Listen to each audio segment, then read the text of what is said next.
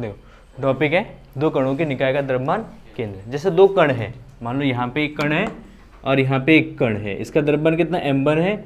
इसका द्रव्यमान m2 है। अगर दोनों द्रव्यमान क्या होंगे? अगर इक्वल होंगे, मान लो ये भी वन के जी का ये भी वन के जी का है तो इसका द्रव्यमान केंद्र क्या होगा? जस्ट इसके मिडल में। जस्ट इसके मिडल में होगा। ठीक है ना? ये दो के जी का ये दो के जी का है तो उसका द्रव्यमान केंद्र क्या होगा? इसके सेंटर पे। ज्यामितीय जो केंद्र होगा इसका, उसी पर होगा। लेकिन अगर मान लो ये कि ये वन के जी का है और ये दस के जी का है, ना? ये वन के जी और ये दस के जी तो इसका द्रव्यमान केंद्र का होगा? तो हमने पढ़ाया कल एक विशेषता पढ़ा था कि द्रव्यमान केंद्र हमेशा जिस साइड ज़्यादा द्रव्यमान होता है, उस साइड विस्थापित हो जाता है। अगर द्रव्यमान दोनों बराबर होगा तो सेंटर पर होगा। अगर ये ज़्यादा है तो द्रव्यमान यहाँ से इधर डिस्प्लेस हो जाएगा। तो यहाँ ना होके कहाँ चला जाएगा? यहाँ पे कहीं चला जाएगा। तो इसका लोकेशन क्या होगा? लोकेशन कैसे पता लगाएँगे कि किस लोकेशन पर है? क्योंकि एग्जैक्टली में बताया ना, हमें ऐसे थोड़ी बता सकते कि यहाँ पे है। तो हमें किसी न किसी के सापेक्ष इसके लोकेशन को बताना पड़ेगा। ठीक है ना? तो इसके लोकेशंस बताते हैं, उसको, इसके लिए डेरिवेशंस करते हैं। ठीक है? देखो, मान लेते हैं हमारे पास दो पिंड है, जिसका द्रव्यमान एम वन व एम टू है, जिसकी मूल बिंदु के सापेक्ष जो स्थिति है वो आर वन वैक्टर और आर टू वैक्टर है। ठीक, दोनों पिंड है तो ये एक दूसरे पे क्या लगाएँगे? एक आंतरिक बल लगाएँगे, जैसे दो पिंड है यहाँ पे। एक पिंड ये है, एक पिंड ये है। दोनों के पास द्रव्यमान है तो ये वाला पिंड इस पे क्या करेगा? अपनी तरफ़ एक बल लगाएगा। एफ़ वन डैश खींचेगा ना? अब यह इसके भी, इसके पास भी द्रव्यमान है तो ये क्या करे इसको अपनी तरफ़ खींचेगा। खींचेगा? मान लो कितने फोर्स से खींच रहे एफ़ टू डैश से। लेकिन अगर हम न्यूटन के तीसरे नियम के, की बात करें तो ये क्या है? प्रतिक्रिया बल है। एक्शन एंड रिएक्शन पेयर है। जब एक्शन एंड रिएक्शन पेयर होते हैं तो ये आपस में क्या होते हैं? एक दूसरे के बराबर और एक दूसरे के विपरीत होते हैं। तो हम लिखते हैं F one dash equal to minus of F two तो इसका मतलब क्या जाएगा? F one dash plus F two dash equal to कितना जाएगा? ज़ीरो ये कंडीशन तो यहाँ से आता मतलब यहाँ पे ये दोनों पिंड क्या करे एक दूसरे पे एक आंतरिक बल भी आरोपित कर रहे हैं। एफ़ वन डैश और एफ़ टू डैश हम मान लेते हैं कि इस पिंड पर M1 पिंड पे हमने बल लगाया है। M1 पर हमने बाह्य बल लगाया है। कितना? F1 ठीक है? M2 पे हमने पर बाह्य बल लगाया है। बाह्य बल कितना लगाया मान लेते हैं F2 लगाया है। ठीक है? कितना लगाया F2 तो देखो M1 पिंड पर कुल कितना फोर्स लगेगा? एम M1 पिंड पर कुल बल कितना? F net one F net one से रिप्रेजेंट करते इसको। एफ़ नेट वन के क्या हो जाएगा? देखो, अब इस पर दो बल लग रहा है ना। एक आंतरिक बल लग रहा है और एक बाह्य बल लग रहा है। जब एक आंतरिक बल और एक बाह्य बल लगेगा तो क्या जाएगा? F one plus F one dash तो एफ़ वन तो हो गया बाह्य बल और ये हो गया हमारा आंतरिक बल। अरे बात समझे? ऐसे M2 पिंड पर कुल बल F net two equal to क्या F two plus F two dash clear है? अब न्यूटन के द्वितीय नियम से। न्यूटन के द्वितीय नियम क्या कहते हैं? F equal to M A का पहले स्टेटमेंट क्या है इसका? कि जब किसी वस्तु पे बल आरोपित करते हैं तो उस बल से क्या चेंज होता है? मोमेंटम चेंज होता है। ठीक है ना? अकॉर्डिंग टू न्यूटन सेकंड में क्या कहते हैं? कि किसी वस्तु पे अगर बल लगाएँगे तो बल क्या जाएगा? बल किसमें कन्वर्ट होगा? संवेग परिवर्तन के बराबर। मतलब अगर इस वस्तु पे अगर नेट फोर्स लगा रहे हैं एफ़ नेट लगा रहे हैं तो एफ़ नेट वन की वजह से क्या उत्पन्न होगा उसमें? संवेग में परिवर्तन होगा। तो delta P upon delta T और ऐसे ही एफ़ नेट टू दूसरे पिंड, जो M2 पिंड है, इसका संवेग में परिवर्तन करेगा ये। कितना करेगा? D P two upon D T ठीक है? अच्छा। देखो इसमें। अब सिस्टम पे कुल कितना नेट फोर्स लग रहा है हमारा? सिस्टम पे। ये हमारा फ़र्स्ट हो गया इक्वेशन ये हमारा सेकेंड इक्वेशन हो गया। ठीक है ना? सिस्टम पे मतलब निकाय पे कुल बल। निकाय पर कुल बल। निकाय पे, अब निकाय क्या बन गया? दो कणों का एक निकाय बन गया ना। इसमें हम इतना फोर्स लगा रहे हैं। इसमें हम इतना फोर्स लगा रहे तो टोटल कितना फोर्स लगाएँगे? तो ये दोनों क्वेश्चन को क्या कर देंगे आपस में। जोड़ देंगे तो F net one plus F net two बराबर क्या जाएगा? D P one upon D T plus D P two upon D T ये नेट फोर्स हो जाएगा निकाय पर सिस्टम पर। अच्छा एफ़ नेट वन किसके बराबर है?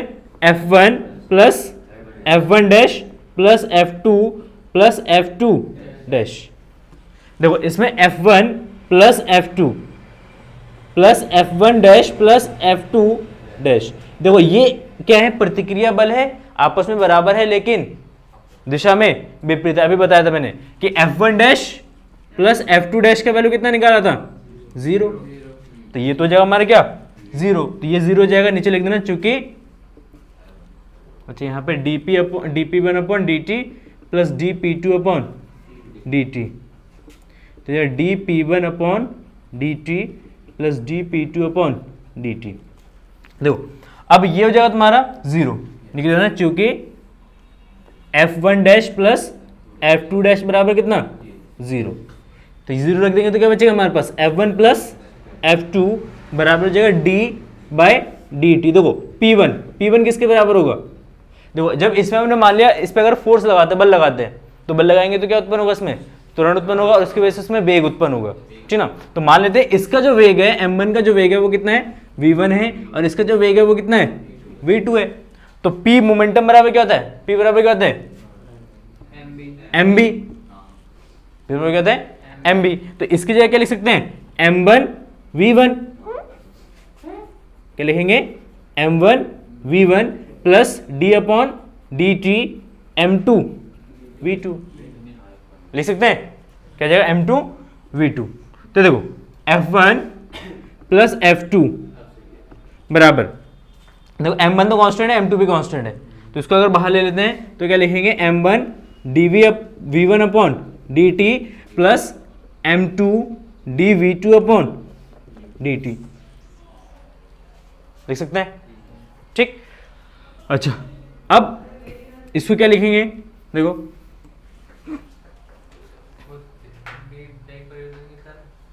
है? एम वन वी वन अब वी वन बराबर क्या जाएगा? हाँ वी ये हो जाएगा वेग परिवर्तन की दर इसको कहेंगे तुरंत कहेंगे। ये वन हो जाएगा। ये हो जाएगा वेग परिवर्तन की दर ये भी क्या जाएगा? ए टू हो जाएगा तुरंत हो जाएगा। लेकिन ये सेंटर ऑफ़ मास का तुरंत लेते हैं तो इसमें वी को चेंज कर देते हैं। क्या करते हैं? वी को चेंज करते हैं, देखो। इसको इस फॉर्मेट में लिखते हैं। देखो। ये जगह M one D upon D T V one की जगह लिखते हैं D R one upon D T ऐसे भी तो लिख सकते हैं। V बराबर क्या होता है? विस्थापन परिवर्तन की दर D X upon D T D X upon D T इसकी स्थिति क्या है? आर वन है तो वी वन की जगह क्या जाएगा? D R upon D T plus M two M two यह हो जाएगा तुम्हारा डी अपॉन डी टी और डी आर टू बटे डी टी देखो डी अपॉन डी टी इसमें भी इसमें भी D upon D T common ले लो दोनों में से। डी अपॉन डी टी क्या लो? कॉमन ले लो। तो पूरे के डिफ्रेंशिएशन में आ जाएगा ये। ये आ जाएगा M one D R one बटे D T plus M two D R two बटे डी टी ठीक है? बात नहीं देख। अब देखो, इसमें इसको हम क्या लिखेंगे? इसको लिख सकते हैं D upon D T D upon D T M one देखो D upon D T M one R one बात नहीं D upon D T M two R two लिख सकते हैं? अच्छा यहाँ से इसको अगर कॉमन लोगे तो डी अपॉन डी टी देखो D upon D T D upon D T फिर से कॉमन ले लो इसमें से तो ये M one R one plus M two R two note करो इतना, फिर आगे करते हैं। हैं? देखो, इसके आगे देखो।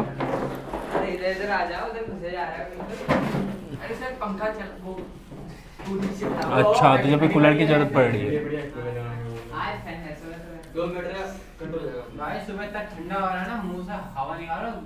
अरे, चल इधर ये बचा हमारे पास एफ़ नेट बराबर, क्या आ गया?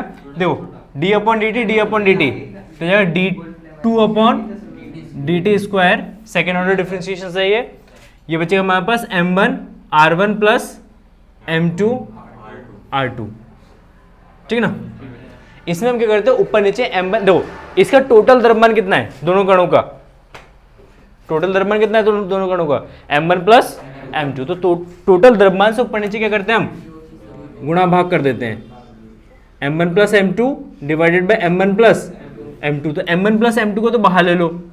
M one plus M two क्योंकि कांस्टेंट है, द्रव्यमान है। तो D up D two upon D T square M one R one plus M two R two बटे M one plus M two ठीक है? देखो, ये इक्वेशंस को अगर कंपैरिजन करोगे बाद नहीं देख ये कुल द्रव्यमान है और ये एफ़ नेट फोर्स है। According to Newton second law F equal to क्या होता है? अतः एफ़ बराबर क्या होता है? एम ए होता है। ठीक है ना? ए बराबर क्या होता है? D V upon D T अच्छा वी क्या होता है? D two R upon D T square D two R upon D T square F equal to ये होता है इक्वेशन देखो इसमें. अरे देख. इस इक्वेशंस और इस इक्वेशंस को अगर कंपैरिजन करो, क्योंकि ए बराबर, देखो ए बराबर हम लिखते हैं डी टू एक्स या D two X upon D T square लिखते हैं ना, लिखते हैं? सेकेंड मतलब ए, जो त्वरण है त्वरण का मतलब होता है अपकलर सॉरी हमारा विस्थापन का दो बार डिफ्रेंसिएशन एक बार डिफ्रेंशिएट करोगे विस्थापन का तो बेग आएगा बेग का फिर से डिफ्रेंशिएशन करोगे तो क्या आएगा? त्वरण आएगा। तो ए की जगह हमने क्या लिखा है? D two R upon D T square ये वाला इक्वेशन और ये वाला इक्वेशन लगभग लगभग क्या है? सेम है। देखो M one plus M two क्या टोटल द्रव्यमान है। यहाँ पे एम क्या है? टोटल द्रव्यमान है। ठीक ना? यहाँ पे D two upon D T square D two upon D T square तो ये टर्म्स जो है वो किसके बराबर होना चाहिए? आर के बराबर होना चाहिए। यहाँ पे आर जो है, वो द्रव्यमान केंद्र का लोकेशन है। यहाँ पे आर को क्या ले लेंगे? R C M R C M का मतलब है द्रव्यमान केंद्र की स्थिति। तो ये हो गया समीकरण नंबर हमारा तीन और ये हो गया समीकरण नंबर चार। समीकरण तीन और चार की तुलना कर दो। समीकरण तीन ब चार की तुलना करने पर क्या जाएगा? आर सी एम बराबर M one R one plus M two R two बटे M one plus M two तो ये हो जाएगा द्रव्यमान केंद्र का लोकेशंस मतलब इस फॉर्मूले से हम क्या निकाल सकते हैं? किसी दो दो कणों के, दो कणों का द्रव्यमान केंद्र हम निकाल सकते हैं। आर सी एम बराबर M one R one plus M two R two बटे M one plus M two ठीक ना? अगर मान लो यहाँ पे कितने कितने द्रव कितने कण हो? एन कण हो। कितने कण हो? एन तो एन कणों के लिए हो जाएगा। एन कणों के लिए। क्या हो जाएगा? R C M C M का मतलब centre of mass C M centre of mass ठीक है ना? R C M equal to जाएगा M one R one plus M two R two plus M three R three plus dot dot plus M N R N बटे M one plus M two plus M three plus dot dot plus M N ठीक ना? ये हो जाएगा हमारा। अगर कितने कण होंगे? एन कण होंगे। तो जैसे चार पाँच, दस, पंद्रह, बीस कण है तो उसके लिए हम ये वाला फॉर्मूला यूज़ करेंगे। नोट करो उसको समझा दो कि आप देखो, कार्तीय निर्देशांक आएगा इसका एक्स सी एम मतलब आर का जो देखो, यहाँ पे आर है ना वेक्टर फॉर्मेट में अगर लोगे तो आर को हम लिख सकते हैं क्या? वेक्टर आर बराबर X I cap plus Y J cap plus Z K cap ना तो इसमें एक एक्स कंपोनेंट होगा, एक वाई कंपोनेंट होगा और एक जेड कंपोनेंट होगा, जिसको हम कहते हैं कार्तीय निर्देशांक। तो एक्स कंपोनेंट कैसे निकालेंगे? सेम वही फॉर्मूला यूज़ करेंगे, ये वाला फॉर्मूला पर आर को रिप्लेस कर देंगे किससे? एक्स से। तो क्या जाएगा? आर सी एम बराबर हो जाएगा M one X one plus M two X two बटे M one plus M two ऐसे वाई सी एम क्या जाएगा? वाई का सेंट मतलब सेंटर ऑफ़ मास का वाई कोऑर्डिनेट क्या हो जाएगा? एम वन तेरे शरीर का centre Y one plus M two by two बटे M one plus M two ऐसे जेड कंपोनेंट हो जाएगा इसका। Z C M equal to जाएगा M one Z one plus M two Z two बटे M one plus M two दिया जाएगा इसका। कार्तीय निर्देशांक। हो जाएगा कार्तीय निर्देशांक। बात नहीं देख इधर। अच्छा अगर इसका द्रव्यमान क्या हो, सतत रूप से हो द्रव्यमान कैसा हो सतत रूप से हो यदि द्रव्यमान सतत रूप में, सतत रूप में क्या हो वितरित हो ठीक है। देखो। यदि द्रव्यमान सतत रूप से क्या वितरित हो? यहाँ पे देखो, ये वाला फॉर्मूला हम तभी यूज़ करेंगे जब हम, हमारे पास क्या देखो पार्टिकल्स दे रखे होंगे। जैसे एक पार्टिकल की लोकेशंस दे रखा है दो कॉमा तीन कॉमा चार। एक पार्टिकल की लोकेशंस दे रखा है ज़ीरो कॉमा दो कॉमा पाँच। ठीक ना? इनका द्रव्यमान केंद्र निकालने के लिए कह रहे हैं? तो यहाँ पे क्या दे रखा है? पार्टिकल्स दे रखा है। लेकिन अगर हमारे पास क्या दे रखा है? एक सतत द्रव्यमान, जैसे मान लो एक रॉड दे रखा है। जैसे एक रॉड दे रखा है, और एक साइड से ये मोटा और एक साइड से ये पतला है। ठीक है ना? कह रहे कि इसका द्रव्यमान केंद्र कहाँ होगा? तो इसका द्रव्यमान केंद्र कैसे निकालेंगे? ठीक है ना? तो इसका द्रव्यमान केंद्र निकालेंगे सबसे पहले हम क्या करेंगे? कहीं से एक, जैसे मान लो ये हमारा मूल बिंदु हो गया। ये x बराबर क्या हो गया? ज़ीरो। जब x बराबर ज़ीरो हो जाएगा तो हम क्या करेंगे? यहाँ से x डिस्टेंस पे जाके किसमें x दूरी पे जाके एक छोटा सा एलिमेंट ले लेंगे। जिसका द्रव्यमान कितना होगा? डी एम मतलब इस रॉड को हम क्या कर सकते हैं? छोटे छोटे पार्टिकल्स में क्या कर सकते हैं? या छोटे छोटे पार्ट्स में हम डिवाइड कर सकते हैं। तो मान लेते हैं एक छोटा सा पार्ट जो है उस मूल बिंदु से एक्स दूरी पर है। और जिसका द्रव्यमान कितना है? हैं? एकदम छोटा सा कुछ भी हो सकता है उसका द्रव्यमान। एक ग्राम दो ग्राम दस ग्राम। कितने भी ग्राम का हो सकता है। बस उसको हम रिप्रेजेंट करेंगे किससे? डीएम से। तो एक्स दूरी पे जाके डीएम लेंगे। तो इस डीएम से हम निकालेंगे इसका द्रव्यमान केंद्र। कैसे निकालेंगे? तो इसका यह जाएगा तुम्हारा। आर सी एम बराबर वन बाय एम देखो वन बाई एम हो जाएगा सिस्टम का कुल द्रव्यमान। फिर उसको इंटीग्रेट करेंगे। देखो, छोटा सा द्रव्यमान डीएम लिया ना हमने। इस डीएम का द्रव्यमान केंद्र क्या होगा? R C M sorry R D M और इसको क्या करेंगे हम? इंटीग्रेट कर देंगे तो फॉर्मूला जाएगा आर डी एम ठीक ना? ये हो जाएगा तुम्हारा सतत द्रव्यमान के लिए फॉर्मूला जाएगा द्रव्यमान केंद्र निकालने का। इसका अगर एक्स वाई कोऑर्डिनेट निकालेंगे तो एक्स सी एम हो जाएगा कार्तीय one by M integration X D M X Y C M हो जाएगा one by M integration Y D M और जेड सी एम बराबर हो जाएगा one by M integration Y sorry Z D M तो अगर हमारे पास पार्टिकल दे रखा है तो पार्टिकल के लिए वाले फॉर्मूले यूज़ करेंगे।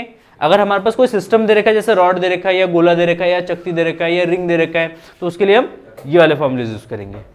ठीक है? हैं? जिसमें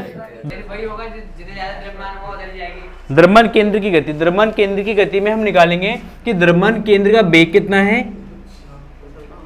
ठीक है ना? जब कोई वस्तु गति कर रहा है या कोई निकाय गति कर रहे हैं तो द्रव्यमान केंद्र की गति कितनी है मतलब वेलोसिटी कितनी है और उसका त्वरण कितना होगा।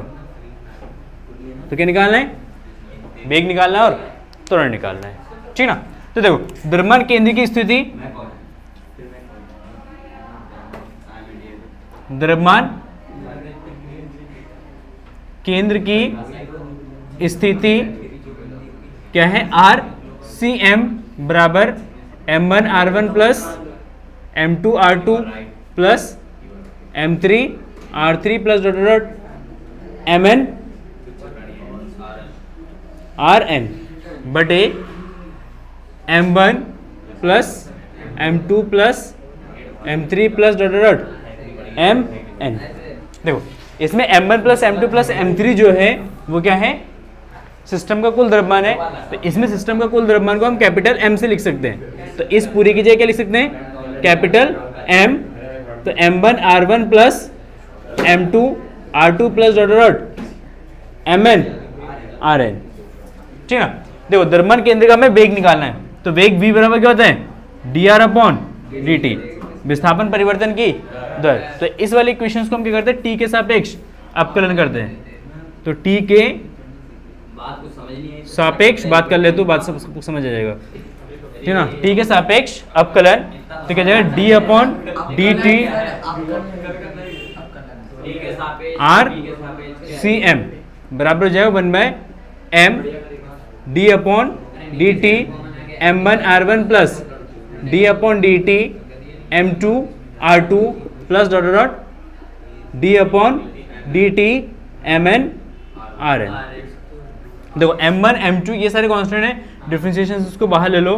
तो वन बाय एम तो ये जगह तुम्हारा M one D R one by D T plus M two D R two upon D T plus dot dot M N D R N बटे डी टी अब देखो D R one upon D T ये भी विस्थापन परिवर्तन की दर है, लेकिन किसके? पहले कण का। ये पहले दूसरे कण का वेग होगा। विस्थापन परिवर्तन की दर को क्या कहते हैं? वेग। तो ये वेग वी वन हो जाएगा, ये वी टू ये पहले कण का वेग है, ये दूसरे, फिर तीसरे कण का, फिर लास्ट में ये एम एन का। तो ये जाएगा वन बाय एम तो ये हो जाएगा दो। डी आर सी एम बराबर क्या जाएगा? ये वी सी एम द्रव्यमान केंद्र का वेग। ये हो जाएगा M one V one plus M two V two plus plus M N V N तो ये तो हो गया हमारा वेग। अच्छा इसका अगर फिर से अगर हम क्या कर देंगे? अपकलन कर देंगे तो क्या जाएगा? त्वरण जाएगा। तो इसका फिर से क्या करते हैं? टी के सापेक्ष अवकलन करते हैं। तो टी के सापेक्ष अवकलन ठीक है ना? तो कहते हैं D V C M by D T equal to one by M क्या जाएगा? M one D V one upon D T plus M two D V two upon D T plus dot dot M N D V N by D T ठीक है अब दो D V upon D T वेग परिवर्तन की दर जिसको क्या कहते हैं? त्वरण। तो ये हो जाएगा ए सी एम द्रव्यमान केंद्र का त्वरण। और ये हो जाएगा तुम्हारा one by M M one V one upon T one ये पहले कण का वेग परिवर्तन की दर है? तो पहले कण के वेग परिवर्तन की दर को क्या कहेंगे? ए सी क्या कहेंगे?